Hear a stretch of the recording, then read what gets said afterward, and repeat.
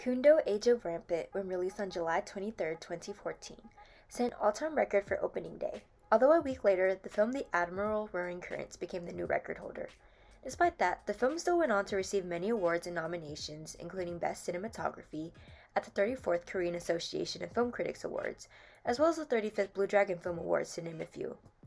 Director Yoon Jong-bin is known for his films that show a realistic portrayal of Korean society, but when this film came out, many questioned why his style had changed to be more aimed at entertainment. His response was that he felt there was not much more that he could show about the contradictions of Korean society, and he was tired of doing the same thing, and so he instead looked back to his childhood and took inspiration from the Western movies and cartoons he had once enjoyed. Director Yoon Jong Bin still wanted to impart a message in the film, and I will be delving into that subject a little later. As for the cast of the film, we have Ha Jung Woo as Do Mochi, otherwise known as Dochi, who was a former butcher, which during the Joseon period was considered the lowest class. The plot of the film centers around Dochi's background and story, making him the main protagonist for the film. We also have Gang Dong-won as Jo Yoon, who is another fantastic lead for the film. In my honest opinion, his character was the most fascinating. Jo Yoon is known for his high marks in martial arts, but other than that, his story is quite tragic and twisted, in that as a son of a concubine, he has no legitimate rights in the family, and is frowned upon by his father as well as the Joseon society. As for the rest of the main cast, they make up the members of the Kundo, who are a band of fighters, or you could call them vigilantes, who work to rise against authority and bring justice to the lower class. Lee Sung Min plays Dae-ho, who is the leader of the Kundo. Next, we have Lee Geung Young as Ting Chu, who provides a lot of the wisdom and guidance for the group and is known as the vicious monk. Cho Jin Woong plays Lee Tae Ki, who was a former aristocrat. Next, we have Yoon Ji Hye as Ma Hyang, whose character is beautifully highlighted with her sharp skills with a bow and arrow. Finally, Ma Dong Seok as Chumbu, who is known for his brute and strength. I mentioned earlier that although director Yoon Jong Bin decided to aim for entertainment with this film, he still wanted to impart a message. To explain the context of this message, I need to give some historical background first. So let's dive in. The film is set during the year of 1862, which aligns with the late Joseon dynasty. It was a time in which the wealthy aristocrats ruled the country and exploited the lower class. As a result, corruption, poverty, hunger, and death were quite rampant. You see what I did there? Alright, okay, not funny. Anyways, this action packed movie reveals a lot about the division, division between the social classes as well as the division in socioeconomic statuses, which makes the film quite unique. Even the careful details in the camera work help to emphasize the contrast between the social classes. When the screen pans over the lower class, the lighting is often dull, along with the scenery. But on the other hand, when the camera pans to the aristocrats, the background and the colors are quite vibrant. Additionally, there are little details throughout the film that suggest an attempt to modernize during the Joseon period. For instance, the governor had a liking for Chinese foreign goods, and the film suggests some Western influence as well when Jo Yoon's rifle comes into focus.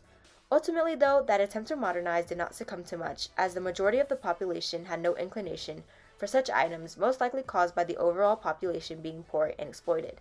Lastly, similar to feudalism in Europe, in which the classes were the kings, then lords, followed by the knights, and finally the peasants, Korea during the Joseon period had essentially four classes as well the Yangban nobility, the middle class Chungin, Sangmin, or the commoners, and the Chonmin, and the outcasts at the very bottom. Joseon society was ruled by the Yangban, and the slaves were of the lowest class, and the person's class determined their occupation and the way they were treated. This mistreatment and division of the lower class helps to set up the plot for the film. Okay, enough of the history lesson. Let's get into the action packed plot. In the year of, eh, of 1862, in the kingdom of the Joseon dynasty, government corruption and class division has consequently led to the formation of a group of bandits called the Kundo, who rise against the inequitable upper class aristocrats. The plot essentially starts with Dolchi being hired by Jo Yoon for an assassination. To give a little backdrop on the who, what, and why of the assassination, Jo Yoon, although born as a son of a concubine, was still his father's legitimate child and therefore was the heir. However, later on in his years, his father had another child with his stepmom in which they gave birth to a son. From then on, Jo Yoon was cast aside and he began to have a thirst for vengeance. Over time, Jo Yoon's half brother is dead, but he leaves behind a pregnant wife who will give birth to a boy. Jo Yoon sees his nephew as a threat, and that is why he hires Dolchi to do his dirty work for him. However, when the time comes for Dolchi to carry out his mission, he finds himself unable to, to do the deed. As a result, Jo Yoon punishes Dolchi by burning his house down, which ends up killing Dolchi's mother and sister.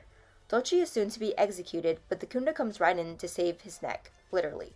From that point on, Dolchi is officially a member of the Kundo and trains with them, carrying out Robin Hood like missions stealing from the rich and giving back to the poor, as well as rising against the unjust authority. The nitty gritty of the plot is the rivalry between the Kundo and Jo Yoon, or should I say Dolchi and Jo Yoon. Anyways, the reason that the Kundo and jo- Joyun come into contact stems from the fact that the group of bandits are protecting his nephew and the mother when Jo Yoon is trying to capture and kill them. So fast forward to the end because the rest is just a back and forth battle between the two. Dolchi and Jo Yoon end up with their final duel in a bamboo forest. Jo Yoon ends up sacrificing his life for his nephew by taking the sword slice to his neck, and this final scene is exactly why I would say most people, or maybe it's just me, finds Jo character the most fascinating. So, for my thoughts, the film Kundo Age of Rampant twisted Jo character into one with quite a lot of depth, despite him being portrayed as the film's antagonist. Analyzing his character deeper, I felt that Jo only ever wanted to be loved and acknowledged because he grew up being viewed as less than by society because his mother was a concubine. It seems that all his actions align with his desire to prove that he belongs, from ranking high in martial arts and swordsmanship to going so far as to almost kill his half brother. Ultimately, his character is one of sorrow and loneliness. It seems that Jo was never truly understood by anyone except perhaps Dolchi. From my perspective, I believe that Dolchi left Jo top knot because Dolchi understood what it meant to bet one's life to change their fate as Jo had attempted to do all throughout his life. Okay, so you might be wondering what a top knot is. Well, what I learned about it is quite interesting. So whenever Dolchi defeats an enemy, he symbolically castrates them by cutting off their top knots, which during the Joseon dynasty was representative of one's aristocratic inheritance. The metaphorical removal of the top knot symbolizes an elemental connection between social status and masculinity. Therefore, Dolchi's emasculation of the nobility emphasizes, emphasizes a symbolic nature between social status and political power. So, going back to what I was saying before, Whenever Dolchi tried to change his fate as a low class butcher, he ended up losing his mother and sister. Jo Yoon tried to change his fate by seeking power through vicious means, only to have his father despise him further. However, Jo Yoon is able to somewhat redeem his character in sacrificing his own life for his nephew, and I think that is also a contributing factor that made Dolchi to perhaps sympathize with Jo Yoon's character, or perhaps to have the viewers sympathize with his character. The origin and the death of the two main characters certainly brought a lot of appeal to the film.